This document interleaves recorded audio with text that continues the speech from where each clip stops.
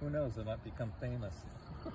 Hi, everybody. I'm here with Tim McCain, a uh, famous worm grower, worm farmer in uh, Aromas, California, up near Monterey. Uh, Tim's got a bunch of these bins in his backyard, and each one, what were you saying, is about a half million worms in each of these? Half million per one. Yeah. And then within each bin, he's got a layer of about six inches of material and a whole bunch of red wigglers. The card, the cardboard in here is just to keep the moisture in, so they don't dry out too fast. And what you were saying, Tim, is that they double in population. Every three months. Yeah. So he's got uh, a number of other bins under construction around the yard here to keep up with the growing population.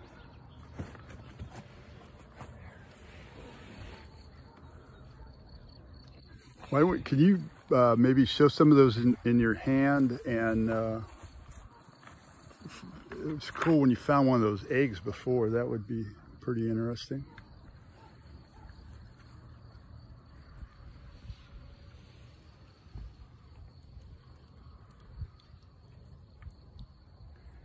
And the material that they're in is a lot of newspaper and you were saying horse manure? Yes.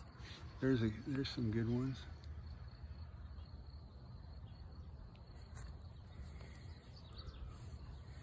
I don't know if you can see that. It's There's pretty small, egg. but there's a little worm egg that hatches in uh, The term is capsules. capsules. They don't call them eggs; they call them worm worm Yeah. capsules. And that just will hatch in the material into a little baby worm that takes a few And months to about three weeks after they lay the eggs, Yeah. then this this hatches into anywhere from four to six worms. Oh, I see. Sometimes it's only two. Out of the out of one capsule. one. Yeah. Sometimes it's four. Sometimes it's six. So it varies. It's just not all. They're not all the same. Sometimes it's even more than six. They don't like the light, so they're all going to go down to the bottom. Yeah. And then in about three months, those worms are mature and breeding, Well, creating more You've also, capsules. you've also got a lot of babies and eggs in here too. That's Oh, going to yeah? help. Cool.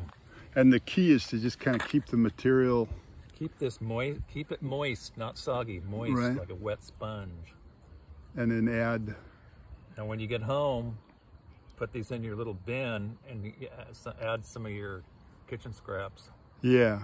You're gonna have coffee grounds. Do they kitchen- actually- kitchen scraps? They actually eat the coffee grounds? Yes, Oh, I got a lot of coffee grounds. throw them in there. Somebody said to put eggshells in there too. They- Eggshells, eggshells will work, but they, it takes a long time for it to break down. yeah.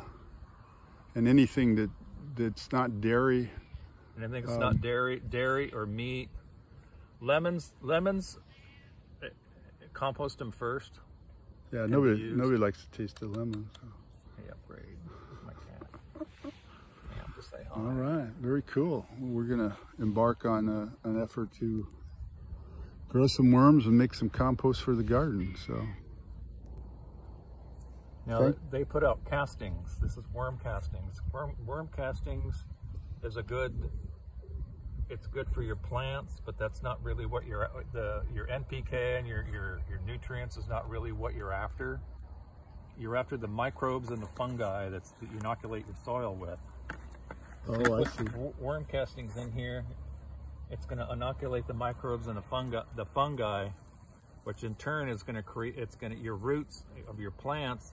It's going to uh, create a, what you call a soil food web. It's going to add to it, and it's going to create an environment where the roots of your plants and your plants are going to take in more nutrients through their roots.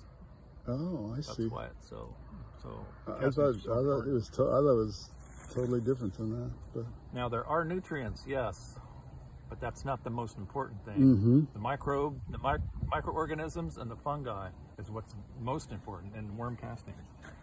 And I make a tea out of this too. out of the worm castings, Liquid. Make a liquid out of it. and uh, but is that what do you do? You actually what do you do with the tea? Do you drink it? Feed it, and you feed it to the plant. Oh, I see. See, essentially, it's a liquid. Yes. like a fertilizer almost, like a liquid but better. basket. I got it. Okay. All right. Well, I'm gonna thanks, thanks, Tim.